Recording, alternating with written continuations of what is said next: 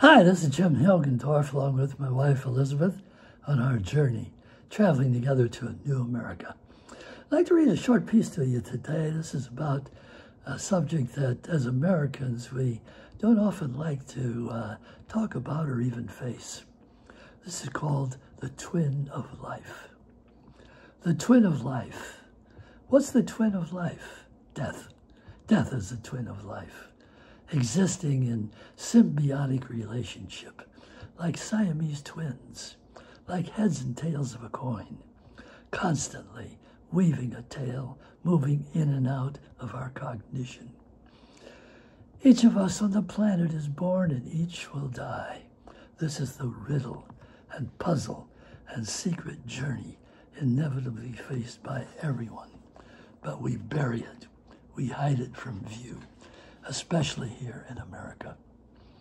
Every philosopher throughout history has racked his or her brains to uncover a solution to this brutal fact. Innumerable stories have been concocted to explain the riddle of existence. Fanciful tales of the cosmos, gods and goddesses, devils and saints, saviors and demons, but not a one has been able to explain in deep satisfaction the injustice of life itself, the pain, the horror, the depths of suffering that are a part of life. Nothing has ever explained in true and satisfying fashion that rings like a clear bell where we've come from, where we're going, and what this is all about.